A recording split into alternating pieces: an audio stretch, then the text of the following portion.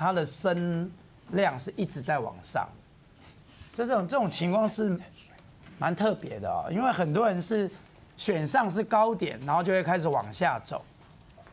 那韩国瑜从十一月二十四号当选之后，他的声量，我觉得还不是说在往上，而且，他急速往上。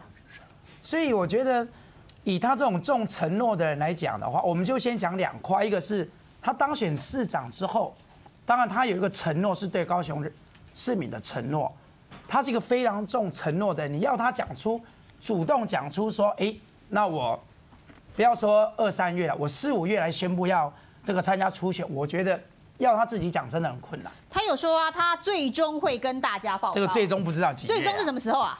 他也没有说清明后，也没说端午后啊，对不对？但是但是问题是，难道要中秋后吗？但是韩国瑜他的声浪，我刚才有一点同意我们帅委员讲的哦、他跟过去换柱有点不一样的时空背景是什么？他这一次是由下而上的。所以你的意思是说，不管多晚讲都没关系，我今天要只要在看投票日前讲都可以。修理，你只要看变化嘛？对，只要看变化。就像刚才讲的，为什么柯批他很聪明的把他的决定从六月延到九月？